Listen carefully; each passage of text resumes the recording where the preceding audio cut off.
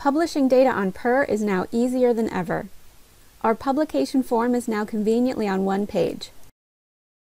If you've published on PURR before, you'll remember clicking through page after page to enter information about your data. We're still collecting the same information, but in a faster and easier way. Now when you go to your project datasets and click to start a new publication, you'll see just one form with two sections, Essentials and Additional Details.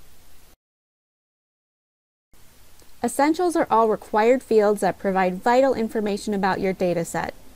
Fields like title, description, authors, and license. Underneath that section, you'll find additional details, where you have the option to add features like an image gallery that jazz up your publication web page. You can also set an embargo. It's super simple. When you're done, click Proceed at the bottom and your publication draft will go to a PURR team member for review before it goes live online. Want to learn more? Check out the help section of our website or contact us at purr at purdue.edu.